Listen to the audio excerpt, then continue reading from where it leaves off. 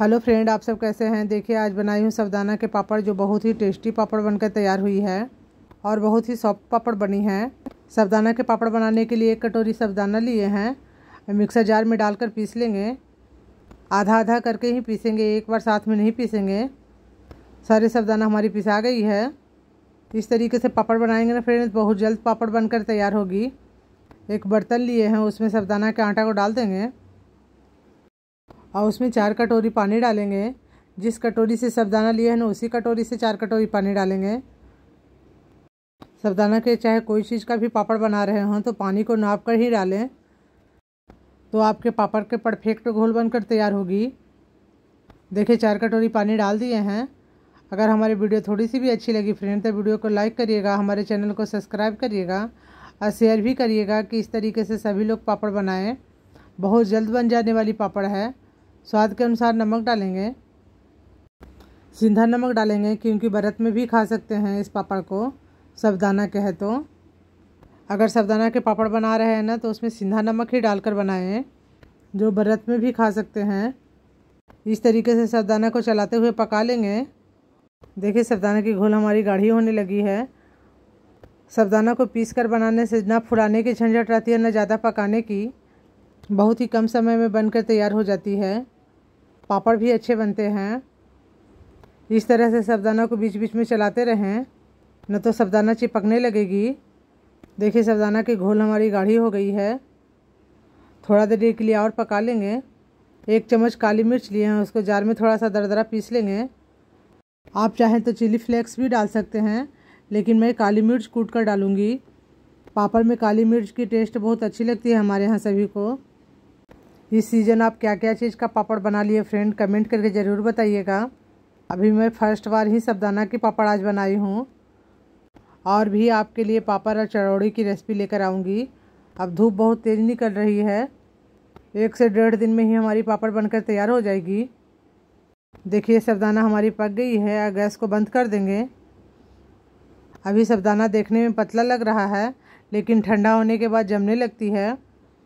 ठंडा होने पर काली मिर्च और जीरा डालेंगे। देखिए सरदाना का घोल हमारी ठंडा हो गई है। उसमें काली मिर्च जो कूट कर डाल रखे थे उसको डाल देंगे और एक चम्मच ही जीरा डालेंगे। इसमें जीरा के भी फ्लेवर बहुत टेस्टी लगती है। आप चाहें तो खाली भी जीरा डाल सकते हैं। जीरा और काली मिर्च को मिला लेंगे। गरम गरम में ही जीरा काली मिर्च नहीं डालें।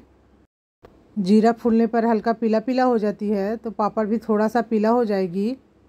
अगर सफ़ेद पापड़ बनाना चाहते हैं तो सिर्फ़ चिली फ्लेक्स डालकर बनाएँ। उसे सफ़ेद सफ़ेद पापड़ दिखेंगे। जीरा डालने पर थोड़ा सा पीलापन हो जाती है पापड़।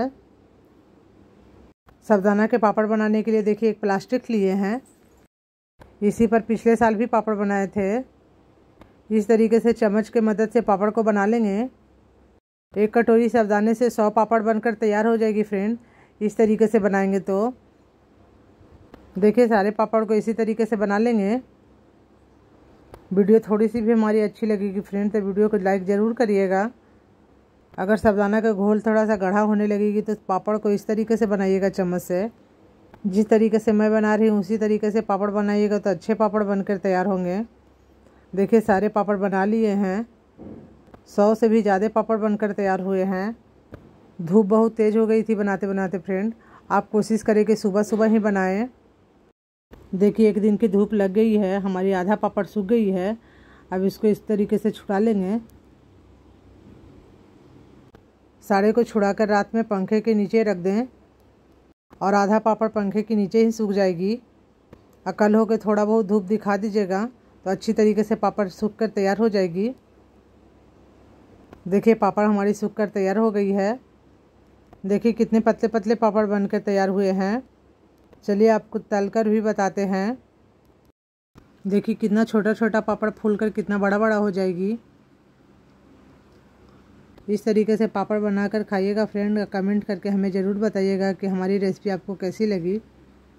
हमारे बच्चों को सावधाना की पापड़ बहुत ही टेस्टी लगती है और हमेशा अपने भी तल कर खा लेता है। पापड़ पर जीरामन पाउडर डालकर खाता है, उससे और टेस्टी लगती है। ऐसे तो इसमें मसाले डले हुए हैं।